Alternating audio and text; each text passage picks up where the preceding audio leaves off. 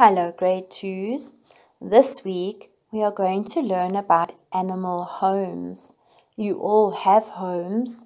This is where you sleep at night, where you spend time with your family, you play, and you keep your things. Animals also need a place to raise their young, to sleep, to keep safe. This is called their habitat. Some animals sleep during the night but others sleep during the day. Think of owls and bats. They sleep during the day. Animals that are awake at night are called nocturnal animals. Animals need to keep themselves safe while they sleep.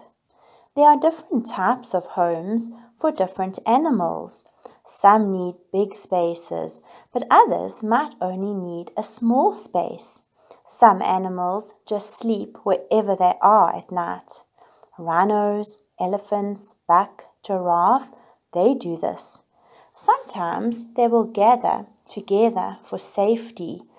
Buck tend to sleep in open spaces so that they can see if a predator like a lion or a leopard is coming their way. This way they can warn each other of danger. Other animals make their own homes.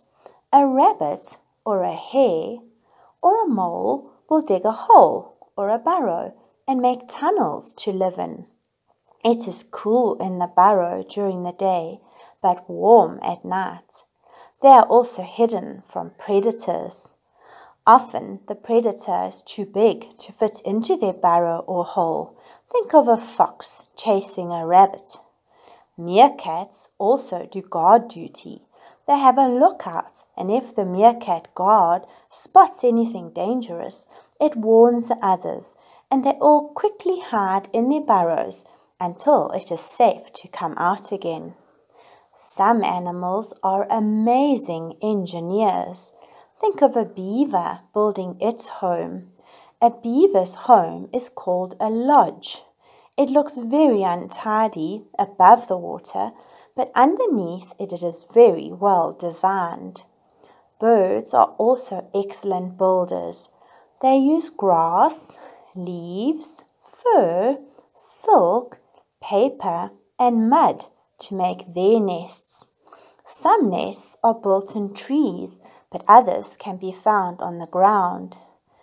A nest is where the bird lays its eggs and when chicks hatch, the chicks are protected and fed here. Some other animals carry their homes on their backs. Can you think of one? I will give you a clue with this picture. Do you recognize the tortoise? A snail is another example of an animal that carries its home.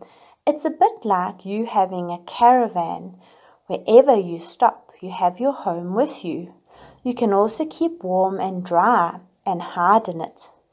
People sometimes make homes for their domestic animals. A domestic animal is one that is used to people, like dogs and cats. A horse could sleep in a stable, a cow in a cowshed, a pig in a pigsty, or a chicken in a chicken coop.